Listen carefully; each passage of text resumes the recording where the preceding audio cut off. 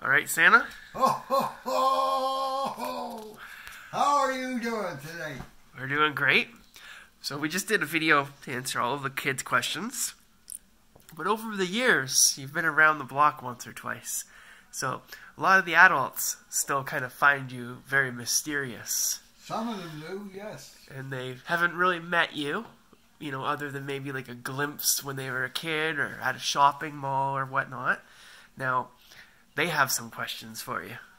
Oh, oh, oh, I'm, I'm sure they do. So, some of them. And I'm not sure that I can answer them. Well, we'll see. So, a lot of the people, you know, they're older now, so they have politically minded questions. Okay. And the first question is What are your thoughts on the radio ban of Christmas songs and the reason behind the bans? I don't believe there are any valid reasons to not play music on the radio, especially Christmas music. because they're, they're songs of love. Now, what do you think of people being offended by the term Merry Christmas and saying Happy Holidays instead? Well, for all, that's a hard question to answer. I would say that if people don't want to wish or receive a Merry Christmas, don't listen.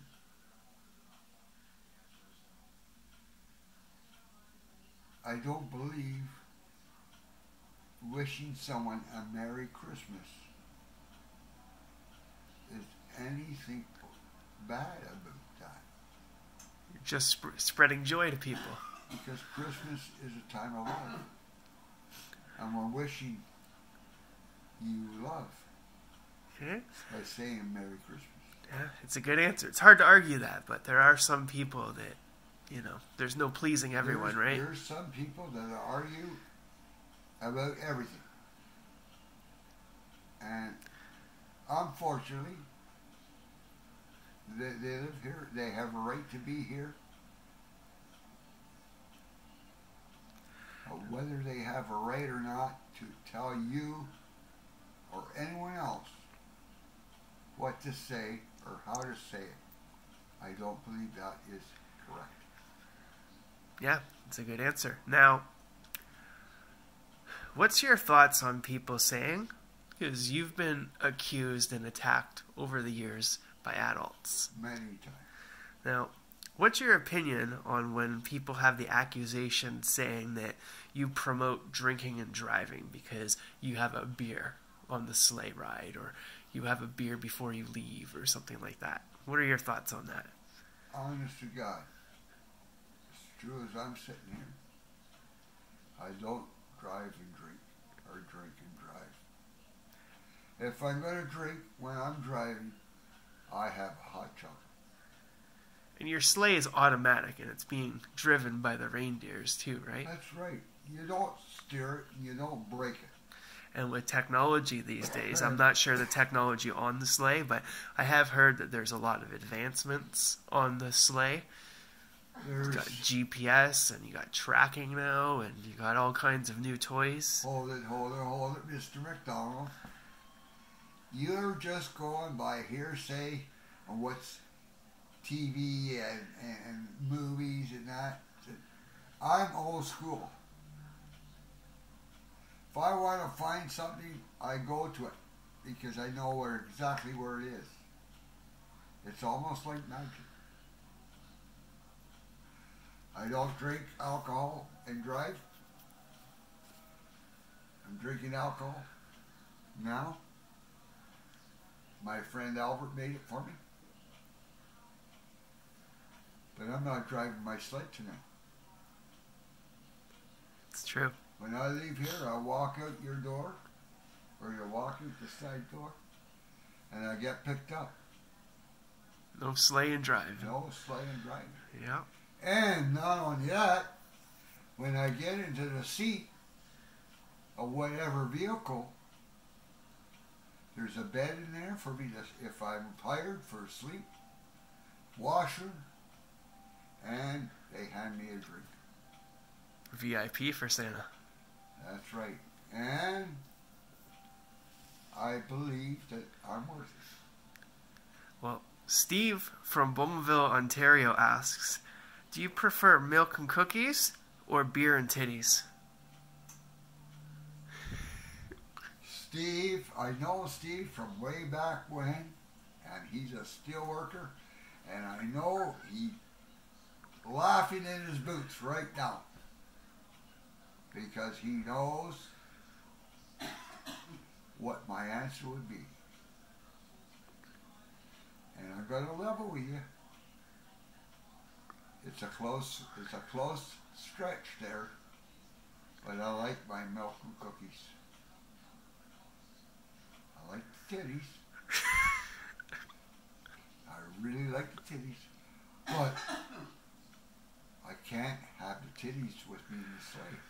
But I can have the milk and cookies in the sleigh and the hot chocolate. He also asks, "Does Mrs. Claus still honk on your candy cane?"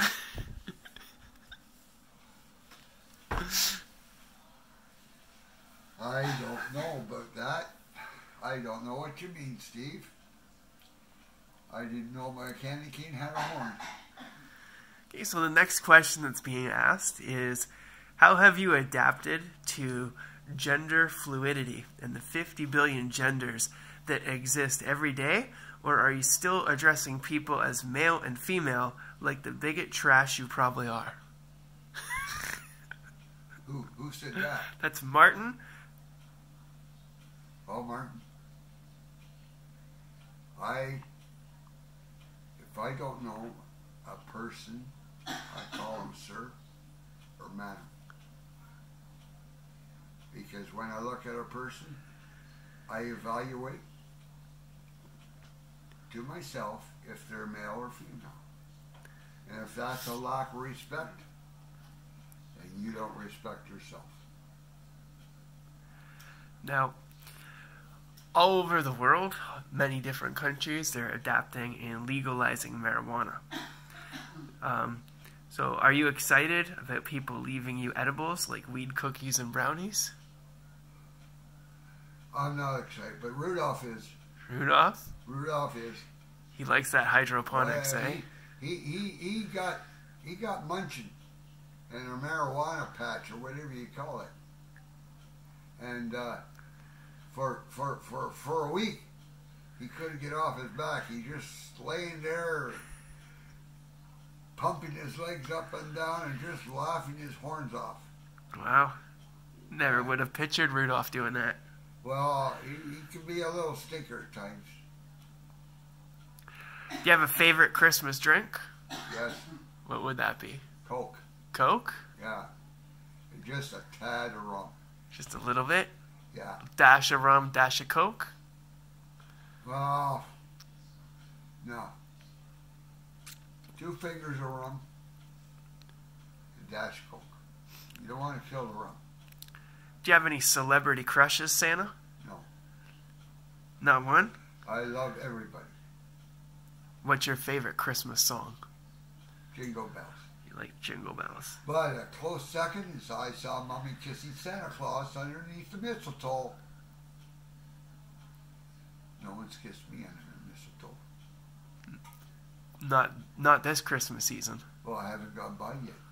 You haven't you haven't what? Haven't gone by yet. Remember that, eh, Brenda? Got that mistletoe handy, right? Yeah, damn right. Steve, I want you to be in bed. Now, have you ever backhanded a child who woke up while you were dropping your Christmas presents off? No, Did you ever want to? no.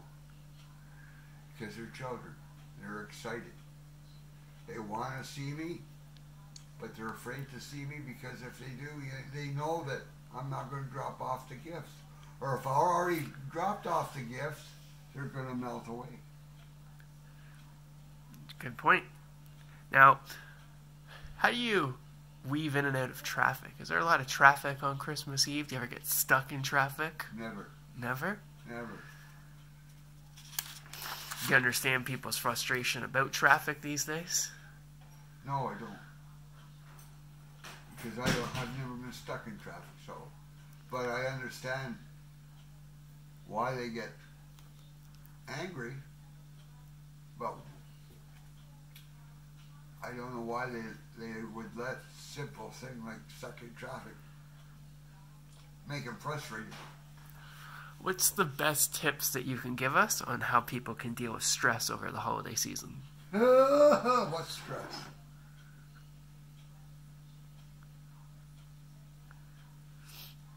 So, for people who are experiencing the stress, would you recommend anything? Any tips for them? Well, Steve already knows this, so I'll tell you. Well, it's not just Steve watching. You got millions I of know, viewers I saying know, it. but uh, I know the steel workers they know this already. To relieve stress, go home and have sex. Okay, Now, Shane from New New. because it, it's love, Okay. and love release releases stress. Okay. Now, Shane from Newcastle asks, "Do you ever give Mrs. Claus anal?" No, I don't believe in that. Don't believe in it. Okay. Um. And Steve, you're on my naughty list now. Now, do you hate Jesus trying to steal your spotlight on your big day? No, because it's his big day. What's your favorite Christmas movie, Santa?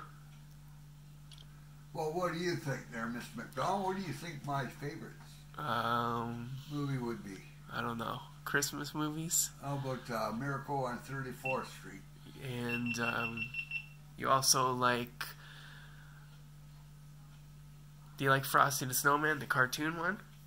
Oh, I like it, yes. It's not my favorite. No, I don't know what your favorites are. I don't have a specific favorite favorite. I love all the movies that portray love. What's your favorite TV show, Santa? I don't know. You don't watch a lot of TV Prob- in the North Pole. probably, Uh, I was going to say news, but they don't tell me good stuff. I I, I really don't. Okay. I Well, might, you. I might, might, might watch TV once or twice a year. Okay. Have you ever been bit by a dog? No, Never. no, they love me too. They love you too, huh? Uh, what's your favorite sports team? Toronto Blue Jays. Toronto Blue Jays. Wow. And I got another one. Toronto Maple Leafs. Wow. And because they're good hockey players, good baseball players. And hopefully one day they'll prove that they're the best. But it might be another 640 years yet. True. True. Now, how has technology changed the North Pole over the years? Have you made any technological changes throughout the facility? Well, yeah, now now my elves they they don't get tired putting nuts and bolts together. They they got impact guns and and and, and putting little roo- little roofs on on on the the doll houses and that. They got those little guns for that. Mm. You know, and it makes it a lot easier for the elves. It doesn't make it faster, but it makes it easier for them. Do you ever have um, have you adapted with technology over the years? Because you have a lot of stuff now, like video games that are all digital and stuff like that. We don't make those. You don't do it, eh? No, we don't. We don't. We build toys. We don't build cars. We don't build cameras. We don't build stuff like that. Oh, you don't build cameras. I'm surprised about that. No, we don't. We don't. If little Johnny down the road wants wants a camera, he sends me a letter. He wants a camera for Christmas. One of the elves phones his mom and dad. and says, Johnny wants a camera for Christmas. Is he allowed one? And whatever the answer is, if it's yes, he gets a camera. If it's no, he, he doesn't. So really, But Santa Claus just phones up the company and says, I need seven thousand cameras. 752 cameras or whatever the number is. It's interesting. I would have never thought you have to make good deals with these companies. Or, Yes, we do. We make terrific deals. You going to ask me what the deals are? If you want to share the details, Santa, you can share them. it. Okay. I'm not allowed. It's under contract. Copyright infringement. Yeah, something like that. But it's it's all under a handshake. That's good. They want to be anonymous. Now, what would you like to say to all the adults who've asked you all these questions today? Well, some of them are very good questions. Some of them are idiotic. True.